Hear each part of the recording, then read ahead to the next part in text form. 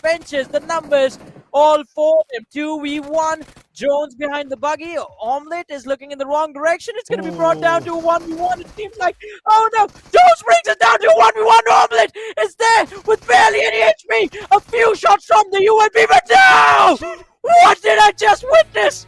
What was this win? And this is just the first game of the day.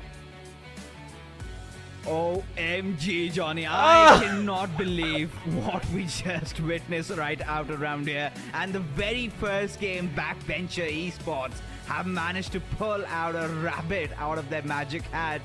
And, uh, you know, it was a game where it, we were kind of sure that they're going to win. But Jones did manage to turn the tides in his favor.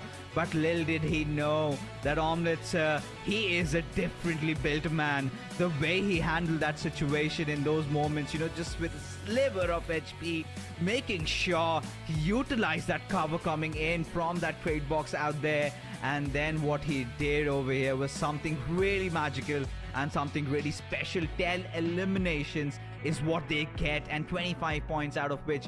What a beautiful game. What a beautiful.